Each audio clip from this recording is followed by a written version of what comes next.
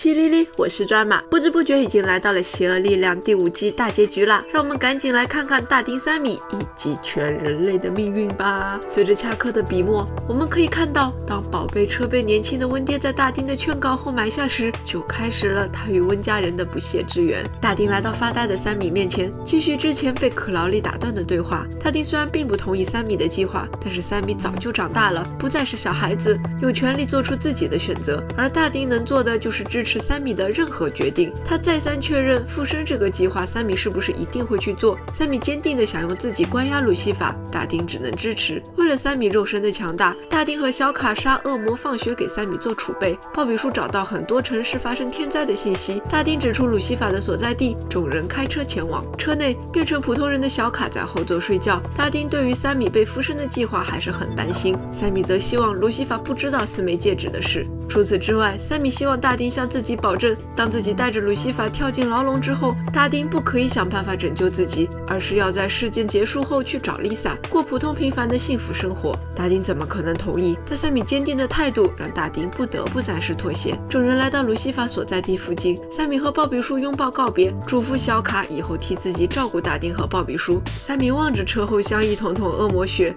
让大丁回避，自己一口气喝光了他们。接着准备充分的两。兄弟来到鲁西法的面前，另一边恰克的小说还在继续。宝贝车里充满了温家兄弟的回忆和痕迹。三米卡在后座的玩具兵，大丁塞进通风口的乐高玩具，兄弟俩刻在车内侧的名字缩写。不管宝贝车被损坏多少次，大丁修复时都会保留这些痕迹。正是这些痕迹和回忆组成了温家兄弟的记忆。然而鲁西法并不知道，也不会关心这一点。三米展示了自己喝足恶魔血后能力和身体的强化。他愿意向鲁西法说 yes，条件是鲁西法必须保证自己和大丁的生命安全，也需要复活温爹和温妈妈。然而鲁西法已经知道了天启骑士四枚戒指的事情，虽然计划已经被看破，但鲁西法愿意与三米打赌。如果三米真的能够压制住自己，鲁西法立刻就跳进笼子。如果鲁西法取得了肉身控制权，那就认命。别无选择之下，三米应下这个赌约。鲁西法进入三米的体内后晕倒，大丁扔出戒指，念动咒语，打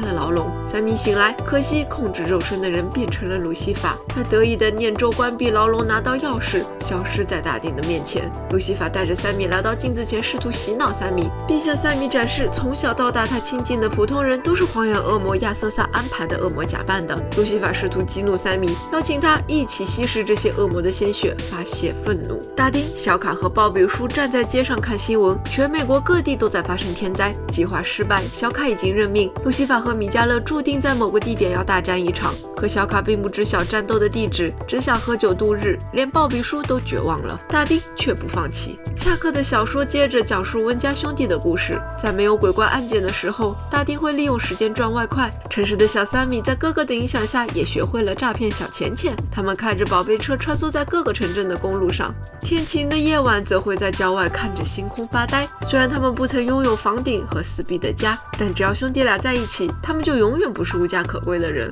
恰克和贝奇已经分手。大丁打电话询问恰克两大天使战斗的时间地点，得知就在明日中午温家老家城外的墓地。看来从哪里开始就要从哪里结束。不顾鲍比叔和小卡的劝阻，大丁执意前往墓地。不论结果如何，他都要在三米身边，绝对不会让三米孤独的死去。路西法和附身温小三的米迦勒终于相见。路西法试图劝说米迦勒站到自己这边，不要做上帝老爸的乖儿子。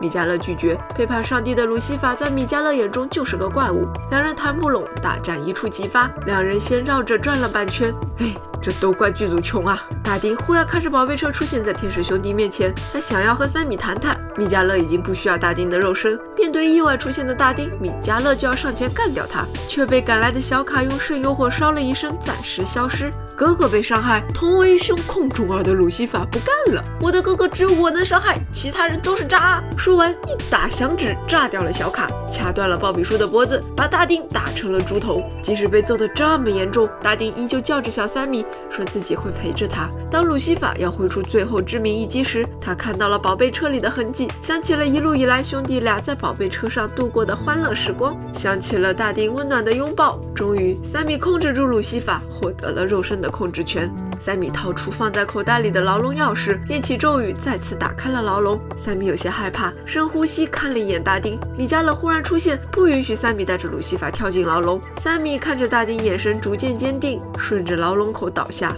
米迦勒试图拽出三米，却被三米拉着一起跌进了牢笼之中。鲁西法被困，牢笼立刻关闭，只留下大丁难过的跪在牢笼边。这时，小卡忽然出现，他不仅被上帝复活，还重新拥有了天使之力，不再是被天堂驱逐的人。他恢复了大丁的伤势，救回了鲍比。经历过这一切，小卡就要回归天堂。大丁却很愤怒，因为三米被关在了地狱。小卡指出，大丁想要的和平已经实现了，说完便离开了。大丁和鲍比叔分道扬镳。虽然大丁非常想要去死，或者找办法带回三米，但是他向三米保证过，去找 Lisa 过正常人的生活。面对平安归来的大丁，Lisa 拥抱了已经失去所有家人、万分难过的他。一路上，大丁和三米遇到过各种各样正义、邪恶、命运、上帝的考验，他们做出自己选择，他们也永远会选择家人，而永远不放弃家人。这也是从第一季开始到现在第五季结束一直存在的主题。温家福音书就此完结，结局是痛苦的，但是并不会真正的结束。恰克微笑着消失了。大丁和丽萨本仔在屋内频繁地吃着团聚饭，而屋外灯下，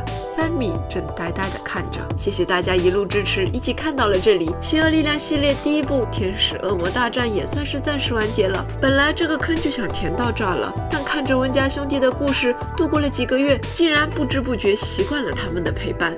明明被关注的三米为什么又出现了？温家兄弟以后是不是还会合体，面对更多有趣的新篇章？大家一定和我一样充满好奇和期待，所以我还是决定把这部剧更新下去。不过接下来会先更新一部新剧，在短暂的休整后，我们一起来见证温家夫妇的团圆哦哦。如果你喜欢这一期的话，记得按赞和分享哦！你的支持是我坚持更新的最大动力。